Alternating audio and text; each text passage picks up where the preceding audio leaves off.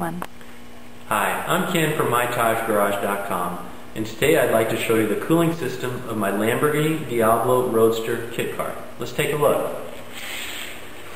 Here we have the ZZ4 crate motor in the back of a Fiero chassis and we have the cooling system starting at the top here with the dead and beer expansion tank.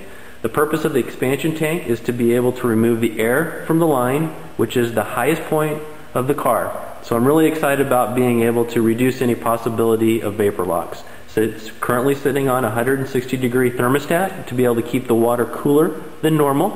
Let's take a look at as the coolant goes around the car through a fabricated cooling line that is the aluminized pipe from a custom-made exhaust pipe.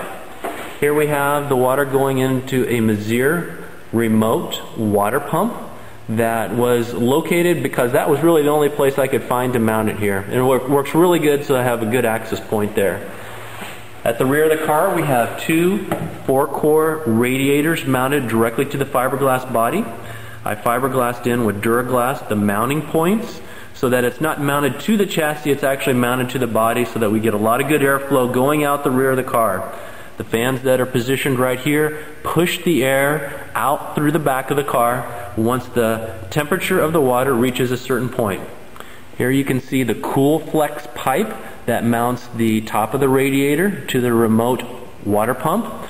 And there's a, some flexibility in that Cool Flex pipe so that it, there isn't a possibility of any type of cracking or any tension between the chassis and the radiator. At the bottom of the radiator we have a connecting pipe because these radiators are hooked up in series where the hot water will come out and then join the radiator at the right hand side of the car.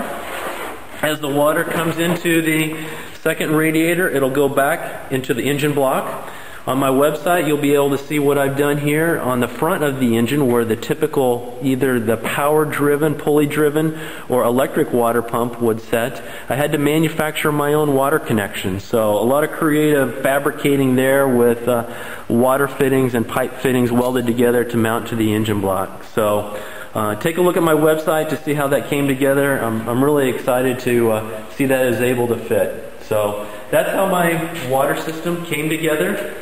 I hope to be able to point to post the electrical schematic drawings on my website as soon as they get done to see how it was all wired and see how it works. So take a look at mytajgarage.com.